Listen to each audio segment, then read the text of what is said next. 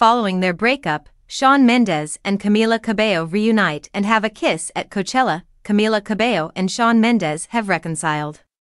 The performers were shown interacting with one another in a video posted on 102.7 KIIS FM's Twitter account on Friday while visiting Coachella in Indio, California. In the seconds long clip, Mendes, 24, and Cabello, 26, can each be seen holding a drink in their hands while engaging in conversation. For the nighttime outing, the Mercy singer wore a graphic t shirt, beige pants, and a bandana around his neck, while the Havana crooner donned a white bustier top and denim cargo pants. In another video, shared online by a Mendes fan account, the duo can be seen watching a performance in the crowd together and sharing a kiss. Mendes and Cabello were friends for several years before they started dating in July 2019. At the summer, they were seen becoming close in photos, and in August of that year, they had their big public debut together at the MTV Video Music Awards, where they sang their duet Senorita.